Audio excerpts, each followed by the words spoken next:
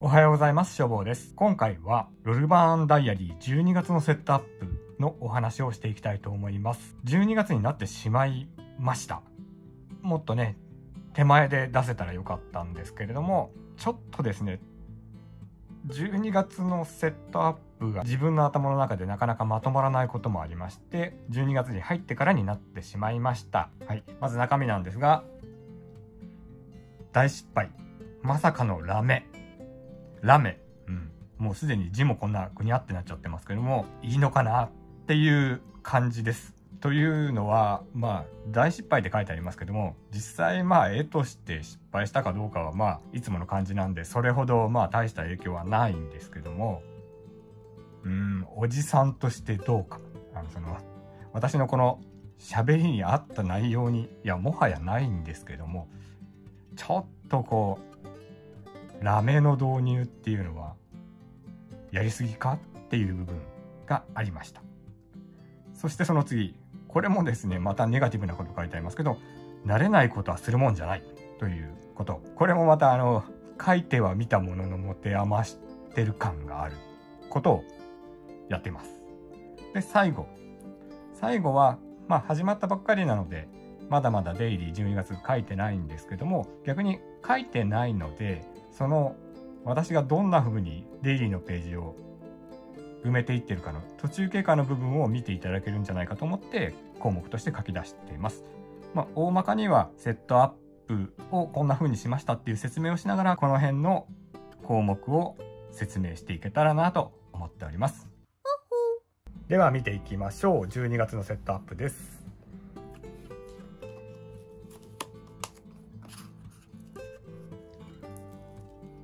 こちらですね。この11月最後のページの次に直で書くかどうかかなり迷ったんですけども、ここでまあ1枚開けてもと思いまして続けて書いてます。それでこれなんとなくまあどっかで見たことあるような的なまあまああのいろんな方の手帳を参考にさせていただいて書いております。うん。はい。それでえー、最初の項目のラメの話なんですけどこの星の部分星なんですよ。星だと思っている書いてる部分なんですけどもこれがですねちょっと分かりにくいかな。えー、あここれくらいが分かりやすいですかね。ラメで書いてます。それで私の見た目的にこのくらいの視線で書いてるわけですよ。書いてる時に。でラメペン、えー、こちら。デュアルメタリックで書いてるんですけどもこれ書いてる時にですねこうこうなんていうんですかね。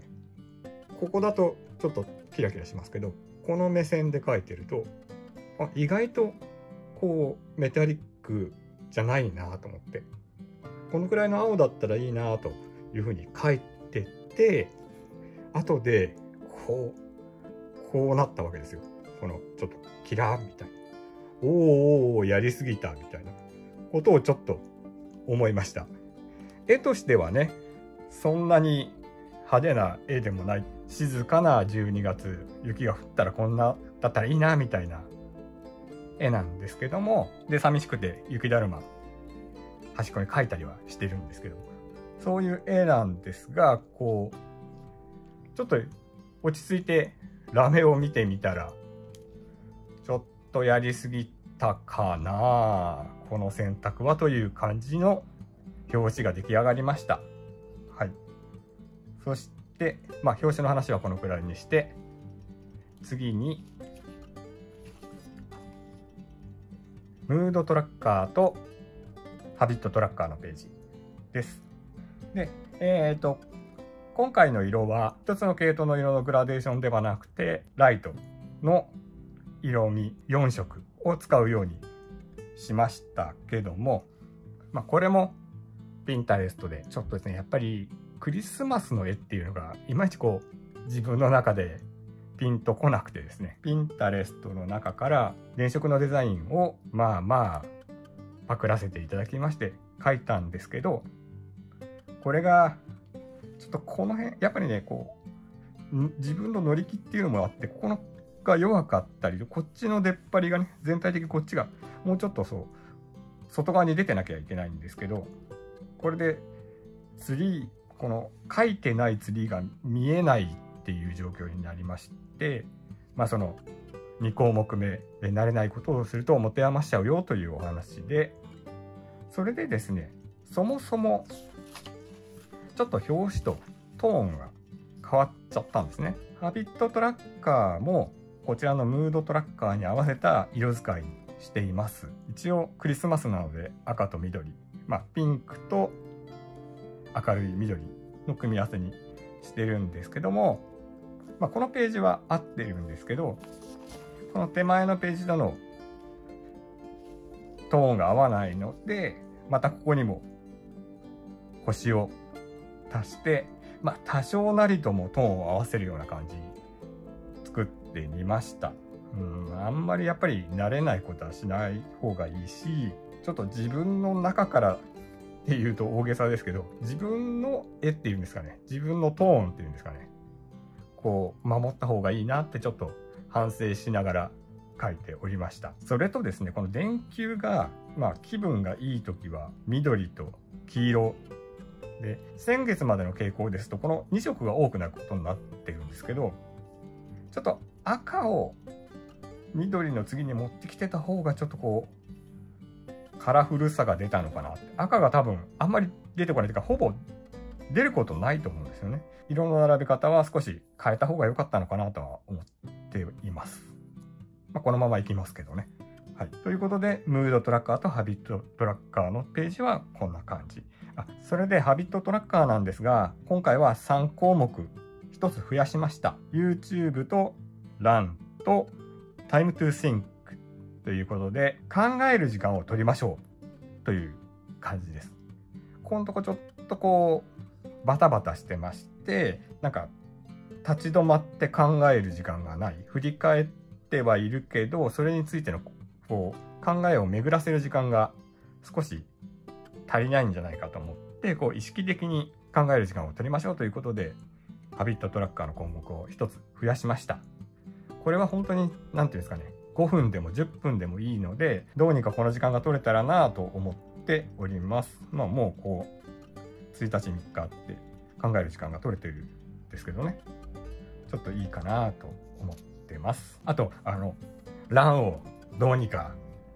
先月の3倍4倍4倍って言っても8回とかの話になるんですがどうにかこう色を塗りたいなと思っております。はい。そして次が、まあ、絵に楽いいことあったっていうページです。こちらは表紙に戻って針葉樹を書いています。先月は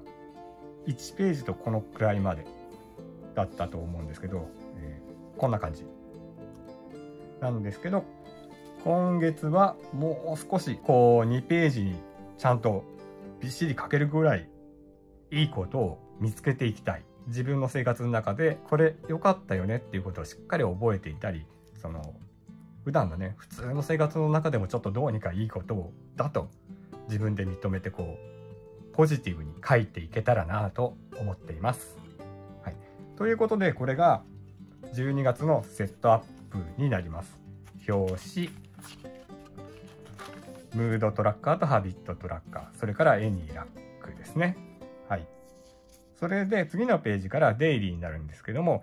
もちろん12月に入ったばっかりで次の見開きだけなんですけども、こんな感じ。えー、ちょっとですね、外出した帰りに水族館のポスターを見て、クラゲっていいよねって思ったので、クラゲを描いています。けれども、ここ、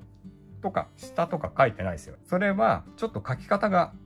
最初に全部書いてからじゃなくて書いて余った空間になんとなく書いていくっていうのもその11月もそうだったんですけど、まこういうもの上と下はこの見開きはもう先に書いちゃってたんですけども途中のこういったもの特に、えー、最初のレモンのページとかは初めに書いて1日書き終わったあたりでこの辺にレモンを書いて2日3日って書いていっている間にここのね隙間を埋めるように増やしていったっていう感じなんです。これがまあ大体いつもこの見開きこんな感じで絵を描く時はですね上下にあのラインだけ引く時っていうのは先に引いちゃいますけども絵を描く時はなんとなく中身を描いてそれを埋めるように絵を足していってるような感じで描いてます。これ最後の項目のあのデイリーの書き方みたいなところなんですけどもそういう感じでページを作っていますちなみにあの前回中書いてなかったページもちょっとここ余っちゃったので底上げで、まあ、床の下にネズミがいるんじゃないのみたいな感じでちょっと絵を足していくっていうのはいつもの感じこんな感じでデイリーページを書いてます。こういうそのまあ日々あったことに対応したイラストを描く人っていうのはまあたくさんいらっしゃるとは思うんですけど全体を文章を書いてから統一したデザインで埋めていくっていう人はあんまりいないのかなと思いまして今お話をしています。私これの方がやりやすいですね。そのここの空間に合った絵を描きたいみたいな願望がありましてそれで付け足していってまあこのクラゲがうまくいってるかっていうとちょっと今のところクラゲを大きく描きすぎて可愛さがないなというふうには思ってはいますけどもこんな感じでデイリーの見開きを書いていくようにしています。といったところで12月のセットアップのお話でした。そろそろ来年の手帳の話をしなくちゃなと思っているので次の動画あたりでセットアップまではいけないですけど来年の手帳こんな感じにするよっていうのがお話できたらいいとは思っております。以上、12月のセットアップのお話でした。最後までご視聴ありがとうございました。書房でした。ではまた。